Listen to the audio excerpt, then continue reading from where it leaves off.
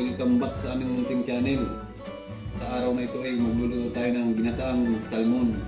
Itong salmon na ito ay aking nahuli sa pangangawil, yung kamay mangawil. Makikita ninyo ang video clip kung paano namin ito hinuli. Fish on? Yung drag mo, magkano ba yan? Good job, Roy. Number one? Ano masasabi mo sa alaga mo? Oh, okay, okay. Hayaan lang, hayaan lang, hayaan lang, hayaan lang. Huwag kang makan. Hayaan mo lang kumain. Hayaan lang. Yup, hayaan lang. Buka nga, buka nga. Sige. Hayaan mo lang, hayaan mo lang. At mo lang yung drag mo lagi. Huwag mo kumain. Lalay, lalay. It's gonna be five minutes more. Ano pa mo yung rat mo doon sa kaliwa? Oo,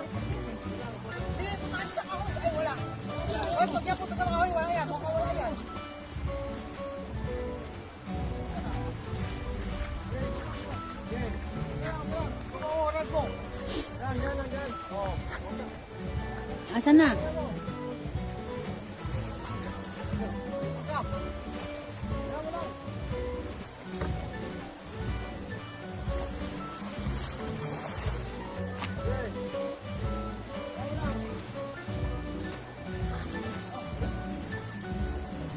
How was it, Roy?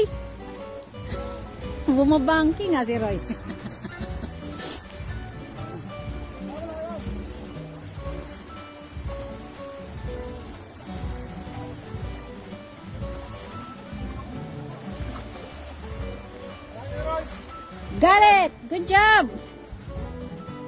Oh, nakala. Nakala.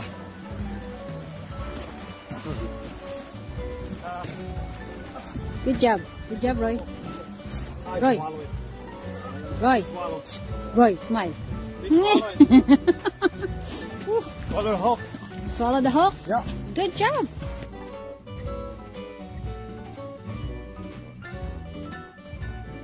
Mga tropa, nandito ng ating sangkap sa pagluluto. Ang ating spring salmon, ang ating gata, sibuyas, luya, bawang, siling green, siling pula, lemon, kamatis, pitsay, paminta, at asin. O sige guys, abangan nyo ang aking pagluluto. Mga tropa, na ilagay ko na yung mga sangkap natin na sibuyas at bawang at saka luya. Kasi yung gata ay medyo kurta siya kaya pinainit ko na muna para matunaw siya. At ang isunod itong ating isda.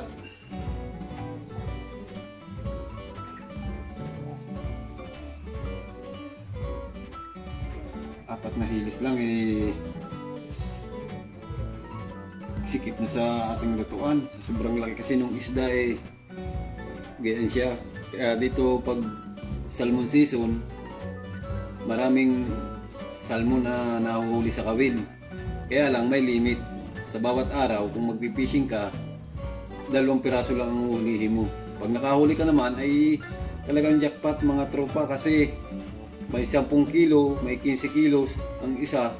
Pag nahuli mo, mayroon pang naabot ng 20. Yung kasama ko, nasa 20 kilos ang nahuli. Isang spring na salmon. Sige mga tropa, abangan yung pagluluto natin. Maya maya, ilalagay na natin yung mga sangkap na gulay pag malapit na siyang maluto.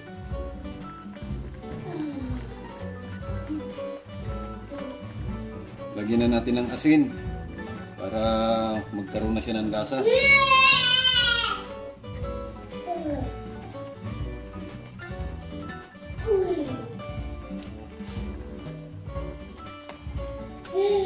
Kunti muna kasi natin ilagay para matyansya natin kung tama ang lasa. Baka masubrahan naman ang asin ay maalat. Masama ang lasa pag maalat.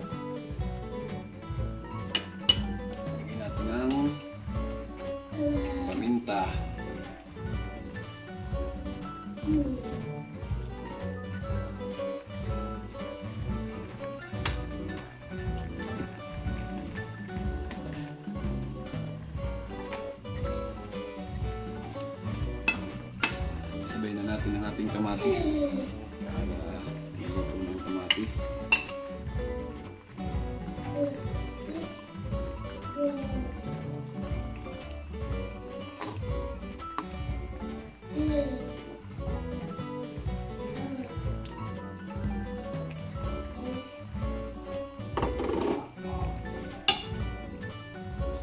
Lagyan natin ang ating sili.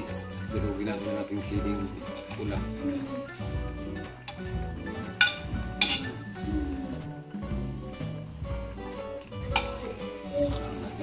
Ating siling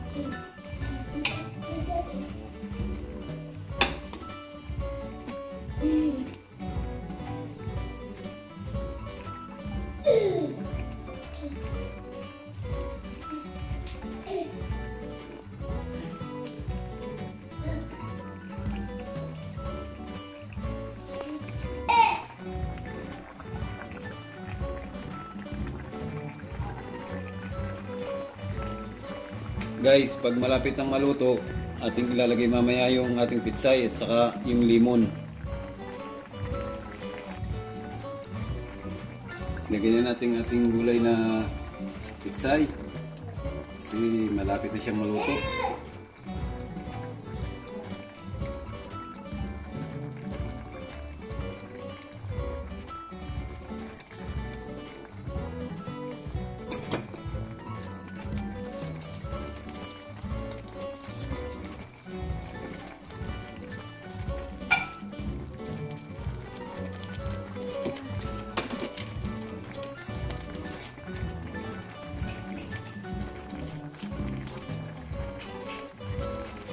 Ba natin siya guys at nang madaling maluto. Mga tropa, malapit ng maluto. Atin ang ilagay ang ating lemon.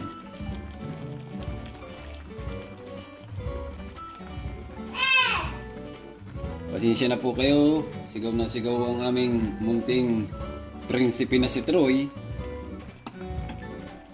Kasi po natutuwa siya sa kanyang pinapanood na video. Yung pong mga video niya, pinapanood po niya. Pag na kanya pong pinapanood, sigaw po siya ng sigaw kasi natutuwa.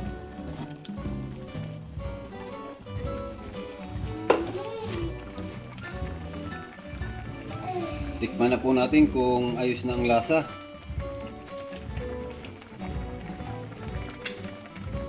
Kung kulang naman po, dadagdagan natin ng asin. Okay na po, masarap na po, perfect na perfect ang lasa.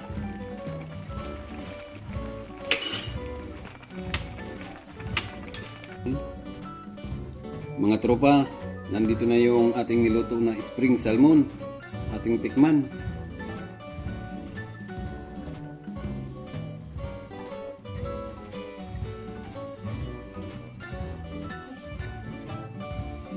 Ayos na ayos po.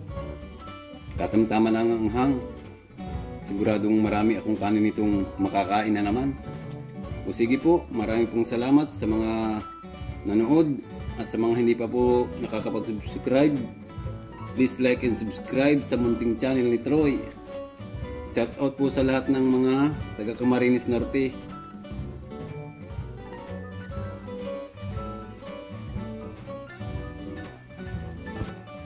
Sige po. Maraming salamat po uli. Bye-bye. Hanggang sa muli.